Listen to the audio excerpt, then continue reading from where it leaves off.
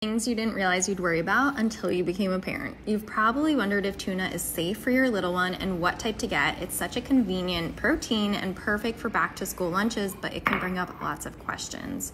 I like the Wild Planet Skipjack tuna. It's safe for toddlers with naturally lower mercury levels and is sustainably pole and line caught. Plus, there are no fillers, so you get about 20% more protein compared to other leading brands. And even a few bites of this packs in a lot of protein and nutrition. So I usually split a can between my two kids or split one between one of them and me. So definitely stock up on Wild Planet tuna next time you head to the store.